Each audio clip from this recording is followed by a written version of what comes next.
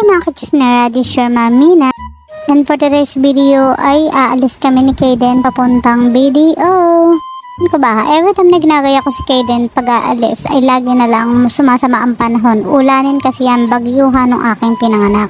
Naglalakad na nga kami palabas ng kanto at shoutout nakasalubo namin ng aming kuya Ian. So sumakay na nga kami ng tricycle papuntang Manggahan. Actually 5 minutes away lang naman yan. Pagdating sa madamong part ng Manggahan nalulungkot na dito kasi yung spot kung saan na-aksidente yung si Totoy namin. Eh, naiyak na naman tuloy ako. Kaya lang, wala tayong magagawa. Kailangan mag-move on, move on din. At lagi namin madadaanan to.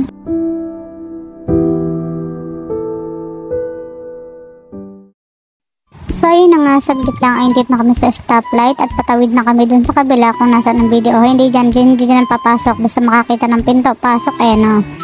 Ma-share ko lang, napakabait talaga kasama niya ni Kaden. Sobrang behave niyan.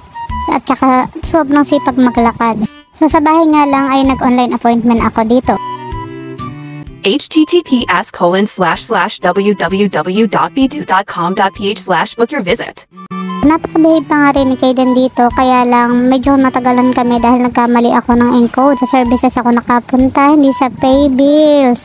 Oh, si Kuya Guard napansin niya ba't hindi pa kami tinatawag. Si Kaden nagugutom na noon kaya uyak na lang siya ng iya, Mami, ain tayo at do, ain tayo at do. Yun sabi niya na yung happy meal para sa may sayo na maoy na wala ang gutom. Tingnan niyo naman ang ngiti sa kanyang mga mata. Nagniningning ang mata ng batang yan. Oh. Nung nakita niya yung laruan na wala yung kanyang gutom, tingnan sayang-saya siya. Pandemic baby nga si Kaden, kaya minsan lang yan makalabas. Nalabas lang noon pag magpapacheck up dahil nung uso ang COVID.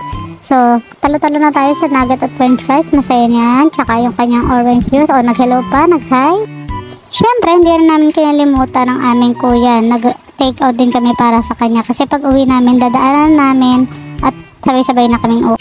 So, medyo in-enjoy niya pa nga yung mga lata-lata na ulo na tira. Ang katawan ay papel.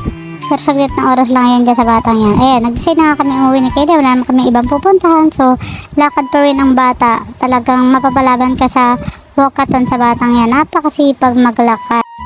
Hindi nga muna kami dumiretso sa bahay dahil dumiretso kami doon sa school ni Kuya Sedi.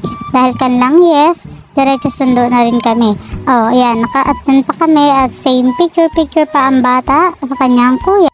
Katapos ay linis time ko onte ang mga kids. 1, 2, 3, 4, 5, 6, 7 natin. Ayan, picture taking. And uwi na. Pinakita pa ng kuya niya yung certificate at wallet. And we go home happily ever after.